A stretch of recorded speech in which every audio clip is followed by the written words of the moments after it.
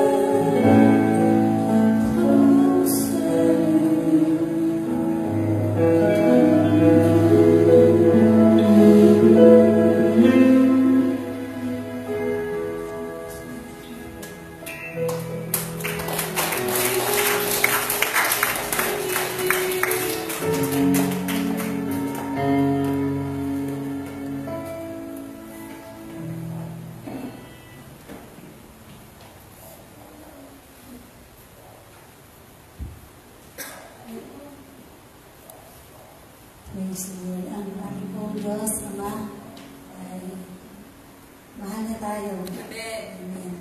At ang ating Panginoong Jesus, bagamat siya ay tayo ay kanyang